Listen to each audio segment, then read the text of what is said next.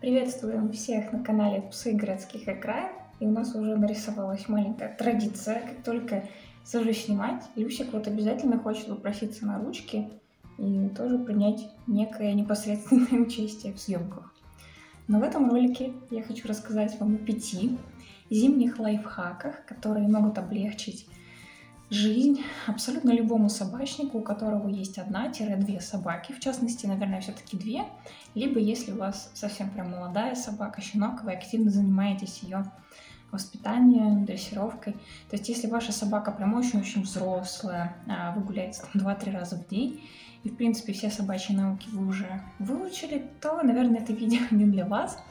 Но в остальных случаях я уверена, что вам будет полезно и интересно узнать о моих лайфхаках, собачьих лайфхаках, которые, ну, мне кажется, что во многом они помогли мне гулять не каждые два часа. Они помогли мне освободить некоторое количество времени для себя, скажем так, для творчества, для того же Ютуба, для написания статей. И самое первое, и, наверное, одно из самых главных вещей, это то, что готовить свои сани нужно с самого вечера. Потому что что такое вообще маленький щенок? Это существо, которое практически не умеет терпеть. Наверное, все-таки от слова совсем. И поэтому, если вы встаете рано утром, даже если вы очень рано встали, и щенок за ночь еще ничего не сделал, но если вы в пыхах слоняетесь в потьмах, в квартире, в поисках сумочки для лакомств, теплой одежды, не забывайте, что все-таки зима, это еще умножается наши трудозатраты на, как минимум на два пункта. А, найти там свою обувь, поводки, особенно если две собаки, это понятно. То есть да, это очень важно, но готовить сани, готовить себя к прогулке на утро нужно уже начинать с вечера. И я прям познала это как нельзя кстати, потому что в один прекрасный день я проснулась рано, и Люсик ничего не сделал. Но пока я так не спеша собиралась, он уже ну, сделал все свои дела в комнате. Подготовить теплую, чистую, или пьет, подготовить теплую, чистую одежду, положить ее на видное место – подготовить сумочку с вкусняшками обязательно, потому что мы сейчас без лакомств на улицу просто не выходим, потому что это и дрессировка, это тренировка подзова и просто налаживание контакта постоянного с животными. Но без лакомств никуда, поэтому сумка обязательно. И подготовить всю необходимую амуницию, ошейники, поводки, шлейки, у кого что. Тоже положить на видное место, потому что, да, опять-таки утром в темноте, в поисках э, там, ошейника для Линды, проходит на самом деле достаточно много времени. Поэтому это был первый наш лайфхак. Второй лайфхак заключается в моей особенной благодарности. Я не знаю, честно говоря, кто был создателем, возможно, погуглить и почитать. Но я желаю просто тысячи и миллионы лет жизни и крепчайшего здоровья создателю сушилок для обуви. Это актуально а, для владельцев собак особенно, и в частности, если вы много гуляете, часто гуляете, активно гуляете в холодное время года вообще в любое время года. Потому что так или иначе, абсолютно любая, даже самая крутая, дорогая, непромокаемая обувь промокает. И для этого не обязательно ходить по лужам или часами бродить по сугробам. То есть не обязательно, что влага будет поступать извне, человеческая нога почему-то так устроена, уж извините, мы потеем. Вот, например, сейчас я хожу дома просто в носках, и, в принципе, у нас достаточно тепло. Но я надеваю вот чистые свежие носки, вот только с батареей, горячие, тепленькие, но через полчаса мои ноги, они какие-то влажные, холодные, в общем, не очень приятно. Соответственно, если вы дома ходите в зимнюю обувь, часто гуляете с собаками, то она как бы, ну, даже если вы, а если вы еще и промокли, то это, конечно, вдвойне неприятно.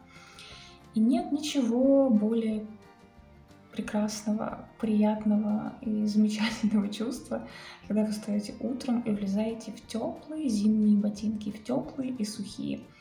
Поэтому на самом деле, вот, дорогие собачники, сушилки для обуви это просто это рай, учитывая, какая сейчас переменчивая, холодная достаточно погода, по крайней мере в Москве. Вот. И я, я на самом деле пользуюсь, сейчас я выпущу, Пользуюсь сушилками, наверное, в течение всего дня постоянно. То есть я пришла, погуляла, даже если выхожу на 10 минут, Но часто внутри обуви как-то, блин, не очень приятно. И просто ставишь в них сушилки, и здорово. очень приятно. Поэтому это такой мой личный лайфхак. Третий лайфхак заключается в правильном распределении своих ресурсов, в частности карманов, сумочек для вкусностей, для пакетиков для уборки экскрементов, куда положить телефон, ключи и так далее, и чтобы при этом держать два поводка в руках. То есть это разумное использование вот вашего, вашего пространства и ваших аксессуаров, которые вы с собой берете, потому что, да, а, две собаки или даже одна очень активная собака накладывает на вас определенные обязательства. Нужно не только держать поводок и стараться как-то взаимодействовать с собакой, но и умело давать лакомство. А если собаки две, как в моем случае, причем разного возраста, что немаловажно, потому что, например, те вкусняшки, что я могу давать Линде, это твердые, жесткие, достаточно большие, потому что она большая собака и взрослая собака, то Люсику маленькому трехмесячному щенку такие лакомства давать нельзя. Поэтому вот мой личный лайфхак, это просто очень удобно на самом деле.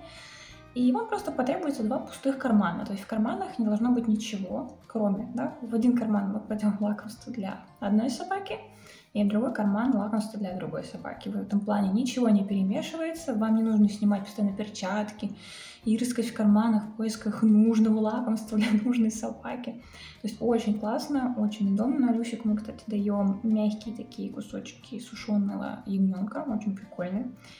А, а Линде я, ну, вообще всякое разное покупаю, она в этом плане неприхотлива.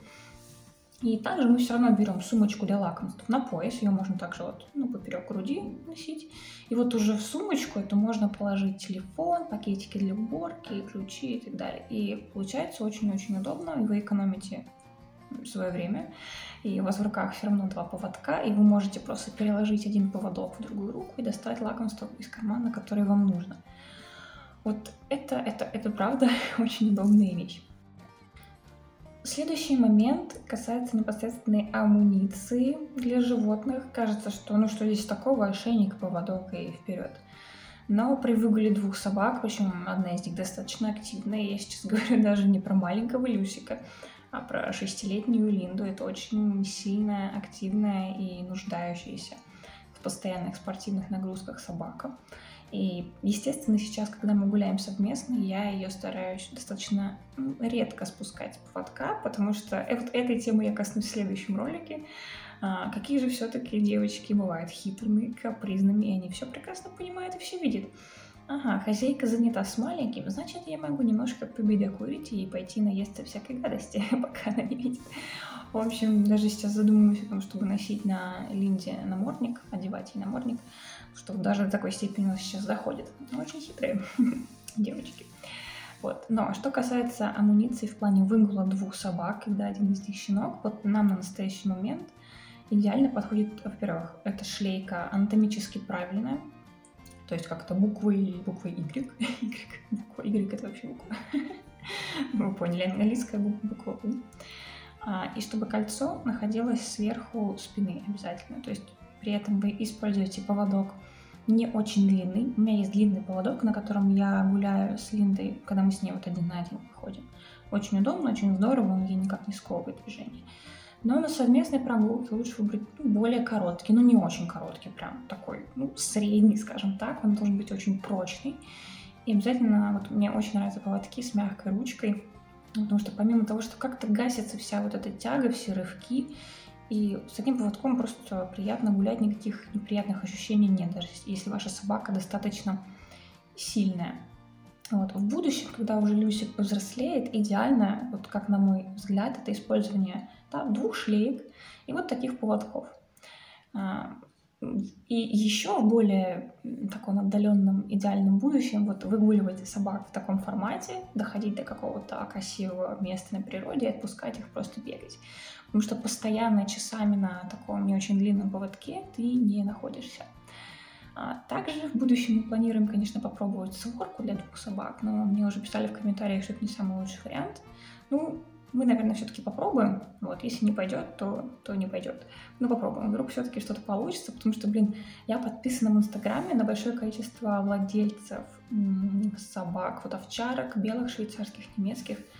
И они постоянно вот на этой сворке гуляют, то есть такой достаточно длинный крепкий поводок цепляют к поясу для выгула собак, да, и гуляют, и собачки вот впереди, бок о бок, им вообще замечательно, комфортно. Не знаю, посмотрим, учитывая, что Линда большая собака, а Люсик это маленькая собака, может быть, им будет некомфортно. Ну, попробуем. А, и да, я все говорю про шлейки и про поводки. Как же гуляет Люсик, как гуляет малыш. Сейчас он гуляет на самом обычном ошейнике, не кожаном, легком, дышащем, таком очень невесомом. И я гуляю с ним на рулетке. Да. В будущем я планирую отказываться от рулеток, потому что все-таки я считаю, это разбаловывает собаку, и ты не можешь ее так хорошо контролировать и взаимодействовать, как на обычном поводке. Конечно, есть альтернативный вариант. Если вы все-таки не можете без рулетки, она вам дико нравится, то все-таки работать с собакой. Обязательно рядом подзов тренировать регулярно и стараться, чтобы собака все-таки с вами взаимодействовала, не просто вот рулетка, и, и она там на другом конце где-то болтается. Вот. Так что вот, вот сейчас, на текущий момент, когда он еще щенок, двумя собаками и вот с рулеткой гулять очень комфортно. Практически поводки у нас не спутываются, но еще такой интересный момент, мое замечание. Вот все вышеперечисленные лайфхаки в плане амуниции и прогулки с двумя собаками, они все обнуляются, если вы лишены внимательности и ловкости. Потому что все-таки 90% проблем и перепутываний, и свертываний собак в один большой пушистый комок, они предотвращаются просто вашей ловкостью рук и внимательностью. Поэтому этот скилл у владельцев двух и трех собак очень-очень-очень натренирован. Ну, почему бы и нет, такой дополнительный приятный бонус. И последний лайфхак заключается в варежках и в перчатках.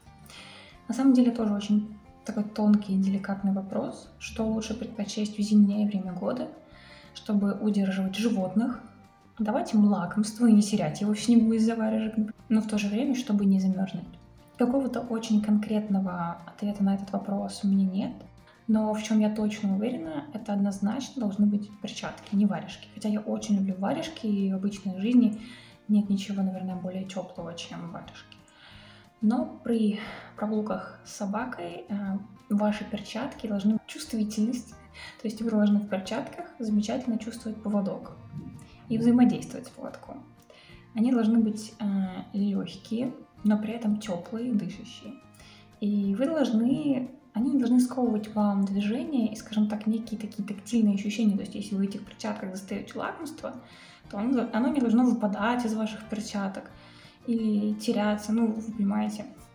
Так, например, у меня есть очень классные перчатки для сноуборда, такие типа дутые, но они не выглядят прям массивными. Они прикольные, но гулять с собаками в них просто какой-то дикий ад ты не чувствуешь и не контролируешь в них ничего. Сколько раз я теряла поводок просто так, на ровном месте, просто он меня выскальзывал. Я не чувствую в них, они совершенно не тактильные. А, а давать них лакомство это вообще жесть. Во-первых, они достаточно ну, крупные в сравнении с вязаными перчатками. И ты даже, они даже в карман-то толком тебе не засовываются, потому что они объемные. И чтобы взять какое-нибудь маленькое лакомство, например, для Люсика, ну, невозможно. Ты просто чувствуешь себя каким-то гулливером. Поэтому конкретно не могу сказать. Возможно, подойдут какие-нибудь перчатки с теплой флисовой подкладкой. Но опять-таки они не должны быть жирными, они должны быть достаточно тонкими. Я сейчас использую обычные вязаные перчатки, и они достаточно холодные. Но вот все остальное в них идеально.